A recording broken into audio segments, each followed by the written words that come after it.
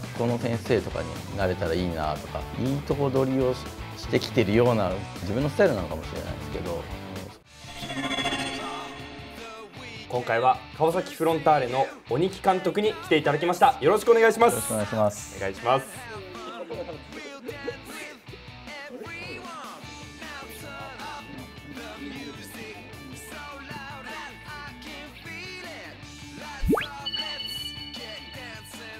まず指導者になったきっかけというのは何なんでしょうか、まあ、きっかけは、まあ、何かっていうのは特別はないんですけどただ漠然と、まあ、小さい時から何か人に何かいろいろ教えられることをできたらいいなって思いがあったりとかそういう中で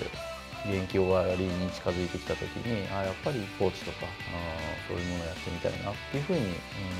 ましたね。それがきっかけって言えばきっかけかもしれないですね学校の先生とかになれたらいいなとか。でも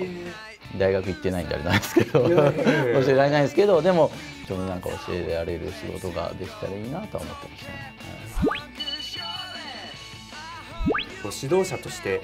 こう影響を受けたような方っていうのはどなたになるんですか、まあ本当大勢すぎて、うん、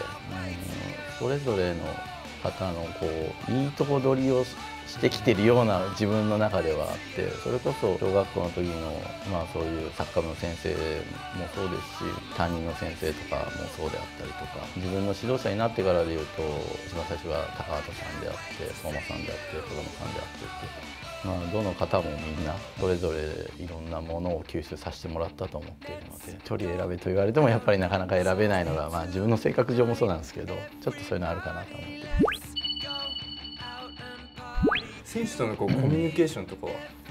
どういうふうに意識して取るんですかうん、まあコーチからやってるっていうのもあるので、まあ挨拶から含めて自分のタイミングで、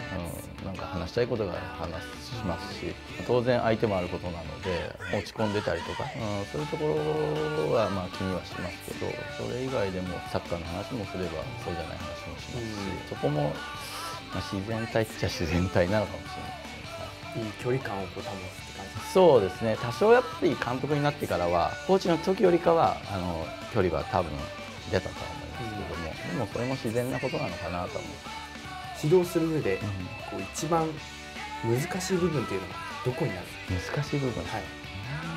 なんだろうな。いやなんかもうシンプルに自分の思ったことを伝えてきてるので、うん、何かこう、うまく言葉を取り繕ってとかっていうふうにはしてきてないのでなので難しいっていう感じはそんなないかもしれないですね。もう思ったことを素直に、うん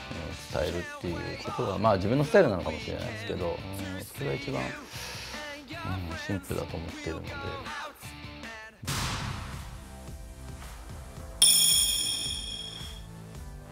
とにかくこの椅子にかけるっていう